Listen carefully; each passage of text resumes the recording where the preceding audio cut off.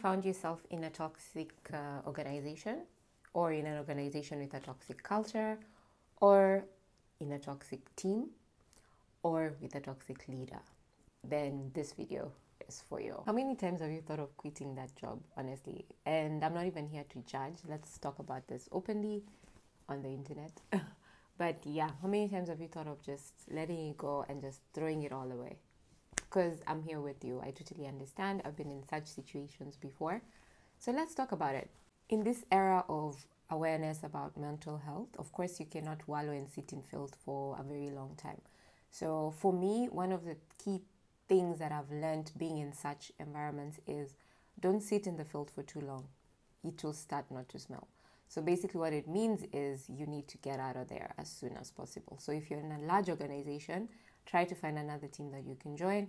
If it's a small organization, just take yourself out. Another important uh, lesson I've seen from my situation and others around me is that do not take yourself out without a plan. So, what do I mean?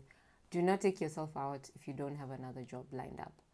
Do not take yourself out to just sit at home and think about, you know, all the negative things that have been happening in, I mean, in that situation because it's not going to do you any good. Another lesson for me that I took from being in this type of situations is learn how to cope within that situation. So, what it means is, yes, you cannot quit today. I mean, there, I know there are times where you feel like, like, really, do I need to go to work today? But don't. Keep it going and learn how to regulate and self soothe when now you're off work. So, because you do need the job, you do need the money. And if you're in that situation, try and find a way to ease off the pressure. If it's a toxic leader or a toxic colleague, in such situations, be being the bigger person doesn't work.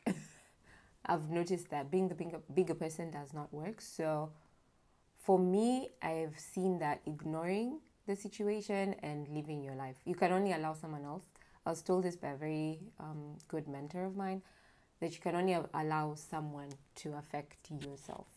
I mean, they can try whatever they want to do to harm you or hurt you, but you're the one who allows that situation or that person to hurt you. So let it just bounce off, bounce, bounce everything off.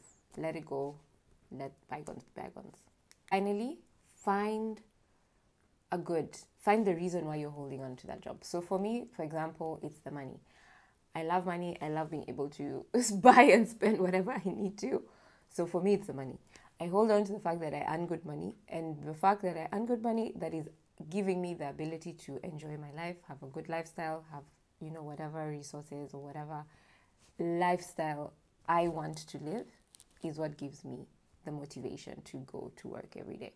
So find that one thing and cling on to it, right? And you know, with that, it keeps you going until the next opportunity comes. For you, what do you think? I mean, let me know what you think in the comments. Does any of these examples or these situations resonate with you? Let me know what you think in the comments.